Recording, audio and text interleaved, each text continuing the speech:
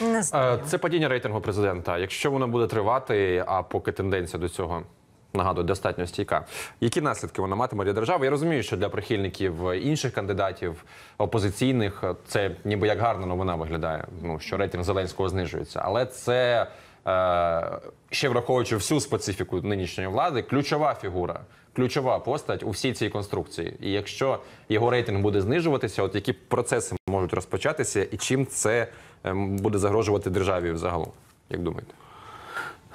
Я взагалі рахую, що Зеленського вже давно не повинно бути е, на цій посаді. Україні потрібен е, президент України, а не Росії чи Малоросії. Чи тому я взагалі е, або за імпічмент, або якось. е, Більш радикально треба зносити. Я рахую, це офіс президента, президент, його команда. Вони системно працюють на Російську Федерацію. А ви впевнені, що якщо знести, Буде хтось ну знести це означає змінити до виборів? Буде так, краще? це друге питання. Воно дуже важке, тому що е, по суті. е, е, Президента Петра Порошенка збивали Зеленським.